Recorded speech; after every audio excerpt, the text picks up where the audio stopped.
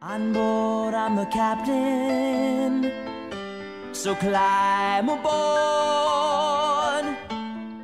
Hi, my name is Juliet Fogerty. My company's name is Turning Leaf Properties of Virginia LLC. We are a small real estate company in the Washington, D.C. metro area. Um, one of the main functions of my company is to help wholesalers find cash buyers for their properties. I've known Greg Norman for a couple of years now, and we've done a couple transactions together. He has always been extremely trustworthy, has a ton of integrity, and always follows through on what he says he's going to do.